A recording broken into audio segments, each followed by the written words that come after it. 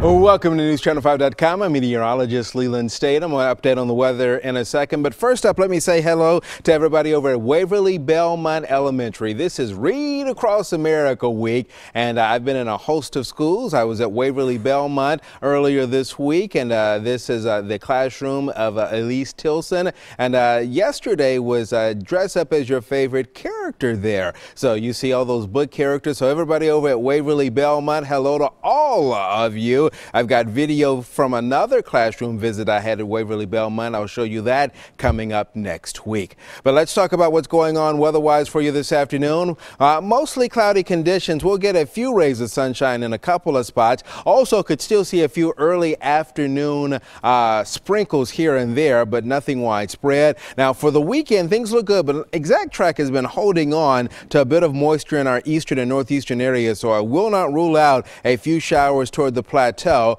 tomorrow afternoon and tomorrow evening. Here's how things play out for us on Real Sky going through the course of the afternoon. Uh, got evening plans by 9 o'clock. We're right around the 40 degree mark. For most of us, temperatures are going to remain above the freezing mark overnight.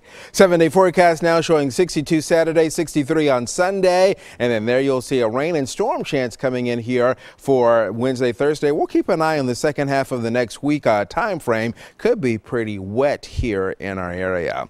Let me say hello to our weather artist today, and this is Maddie. Maddie is a fifth grader at Franklin Road Christian School, a student in Mrs. Harris's classroom. And Chase in a note saying, hey, Millersville Elementary would love to be our school of the day. So everybody at Millersville Elementary up in Sumner County, you are our school of the day on a Friday. Thank you so much for stopping by NewsChannel5.com on a Friday afternoon. Make it a fantastic weekend.